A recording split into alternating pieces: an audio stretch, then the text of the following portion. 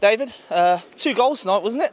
Yeah, two goals. You know, I see um, on Sky that the, the second one's been given as an own goal, but it was going in. And I thought that if the ball was going in and the defender had to clear it and it's gone in, so I take that as my goal. But you know, I'm sure overall it'll, it'll come as my goal. What a performance so Four goals, four games unbeaten. There's real momentum at the club at the moment. Yeah, the boys are going in confidence. You know, first half. you know, I don't think you could see that. I think we was a bit sloppy at times. You know, they had more control.